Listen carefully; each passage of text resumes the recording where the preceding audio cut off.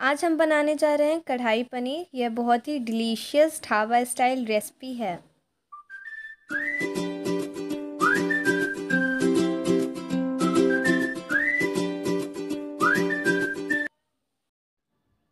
कढ़ाई पनीर बनाने के लिए हम कढ़ाई में तेल डालेंगे। इसके बाद इसमें हम प्याज डालेंगे और उसे तलेंगे। अगर आपको हमारी रेसिपी पसंद आए तो हमारे चैनल को सब्सक्राइब शेयर और लाइक करना ना भूलें।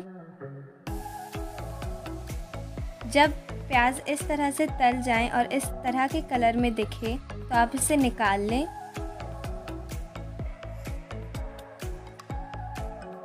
इसी तरह हम शिमला मिर्च को भी तल लेंगे।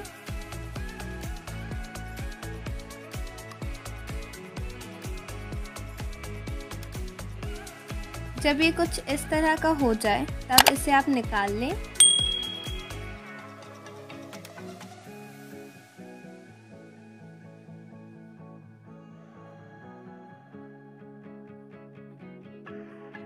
इसके बाद हम उस तेल में एक चम्मच जीरा डालेंगे। उसके बाद हम इसमें दो इलायची और चार लौंग डालेंगे। इनके बाद हम इसमें प्याज डालेंगे।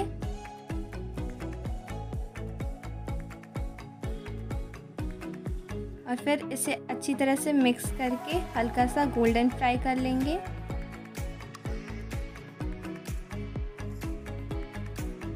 इसके बाद इसमें हम अदरक और लहसुन का पेस्ट डालेंगे, दो चम्मच। इसके बाद यहाँ पे हम काजू और मगज का पेस्ट डालेंगे। इसे मिक्स कर लें और इसे थोड़ा सा पकने दें। ये बहुत ही डिलीशियस रेसिपी है तो आप इसे घर पर ज़रूर ट्राई करें। इसके बाद इसमें हम कश्मीरी लाल मिर्च पाउडर डालेंगे और इसे मिक्स कर देंगे और इसे थोड़ा सा पकने देंगे।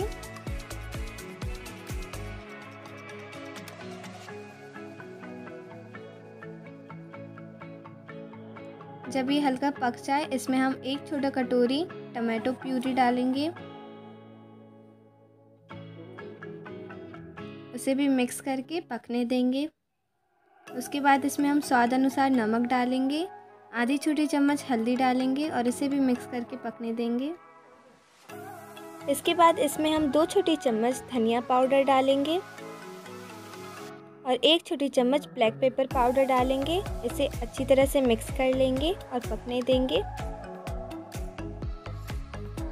इसे हम ढक्कन की मदद से ढक देंगे, जिससे अच्छी तरह से पक जाए। करीबन हमें दो से तीन मिनट इसे पकाना है। इसके बाद हम ढक्कन हटा लेंगे। और ये अच्छी तरह से पक चुका है।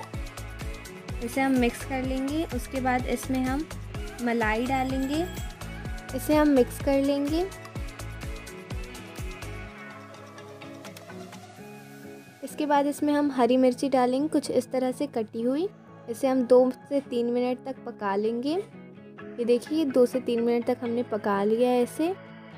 अब इसमें हम करीबन आधा लीटर दूध डालेंगे और इसे साथ साथ में हम इसे मिक्स भी करते जाएँगे। ये देखिए, इसे अच्छी तरह से मिक्स कर लिया है। ये इसे अच्छी तरह से चला के मिक्स करें। इसके बाद इसे भी ढककर तीन मिनट के लिए पका लें। ये देखिए, अब एक तवे में हम कसूरी मेथी लेंगे और उसे हल्का सा रोस्ट कर लेंगे। अब हम ढक्कन हटाएँगे, हल्का सा मिक्स कर लेंगे सभी चीज़ों को। उसके बाद हम अपनी हाथों की मदद से कसूरी मेथी को हल्का सा क्रश करके अपनी कढ़ाई पनीर में डालेंगे। और इसे भी अच्छी तरह से मिक्स कर लेंगे। ये बहुत ही टेस्टी ढाबा स्टाइल रेसिपी है।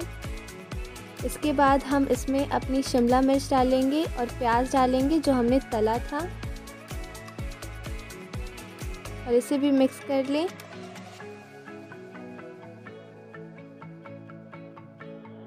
इसके बाद इसमें हम पनीर डालेंगे। और इसे मिक्स कर लें। इसके बाद ये कुछ इस तरह की दिखेंगी। उसके बाद इसमें हम एक चम्मच गरम मसाला डालेंगे।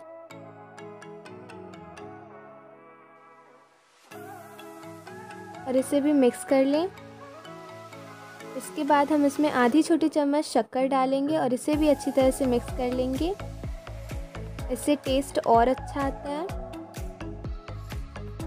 इसे हम ढक देंगे जिससे अच्छी तरह से मिक्स हो जाए और अच्छी तरह से पक जाए, जिससे इसका टेस्ट और भी बढ़ जाए। ये देखिए, ये अच्छी तरह से पक चुका है। तो हमारी कढ़ाई पनीर बनकर तैयार है। आप इसे ज़रूर ट्राई करें। हमारे चैनल को सब्सक्राइब बेल आइकन को प्रेस करना ना भूलें। धन्यवाद।